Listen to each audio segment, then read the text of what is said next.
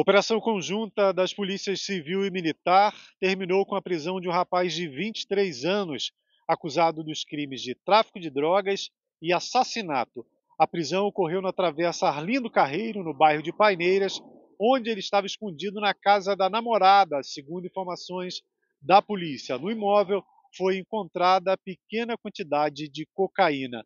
Apesar da pouca idade, pouco mais de 20 anos, esse jovem tem diversas anotações na sua ficha criminal, né? Tem aí o caso do assassinato, tráfico de drogas, né?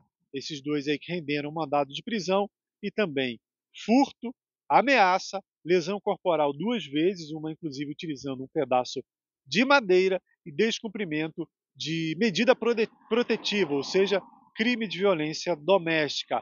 A Polícia Militar pede que pessoas que tenham informações sobre bandidos, sobre qualquer ato envolvendo crime, que passem informações aí para o Disque Denúncia 190 ou 27427755, lembrando que não é necessário se identificar. Mais detalhes sobre essa ocorrência você vê no nosso site, que é o netdiario.com.br.